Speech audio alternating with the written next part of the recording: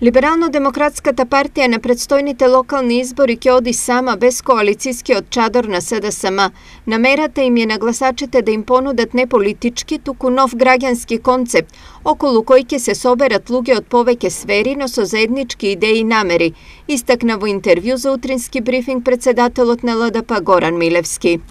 ЛДП донесе минатата недела одлука да настапи во една граѓанска коалиција на центарот.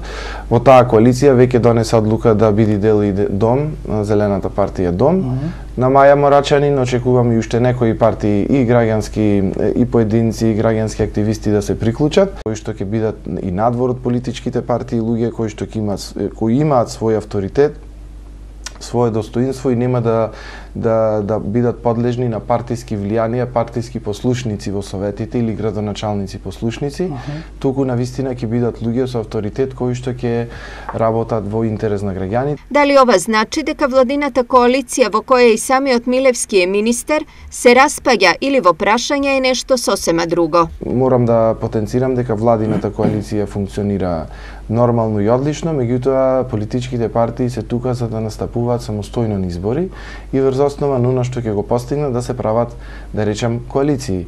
А, во еден момент вие мора да се мерите во јавноста, да видите колку тежите, дали вашите политики се прифатени од граѓаните, за да знаете во кој правец да се насочите. А вака сега вие ако одите перманентно во коалиција, ќе се стопите граѓаните зошто би гласале за вас или зошто би дошле кај вас, ќе одат кај некој поголем ваш партнер и вие тука вие се обезличувате и на крајот ќе ќе треба да ставите клуч на партијата.